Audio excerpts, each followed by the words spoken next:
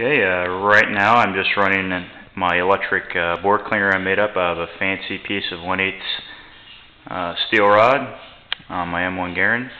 And you can see all this nice crud that's actually getting out. And long story short, it's simple to make. And you can see it's actually working.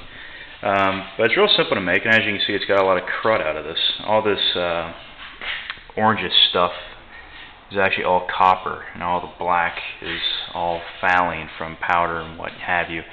It's real simple. I'm running it off of uh, three AA batteries, or AAA batteries here.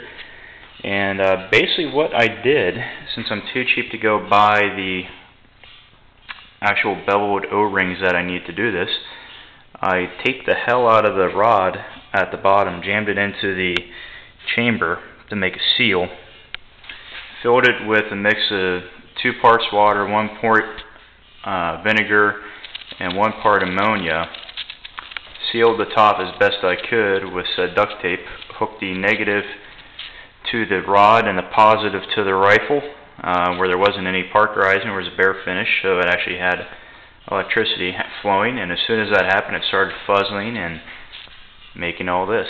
So it's getting out a lot of copper fouling I've had a serious issue with for a little while. And um, took me a whole five minutes. So there you go.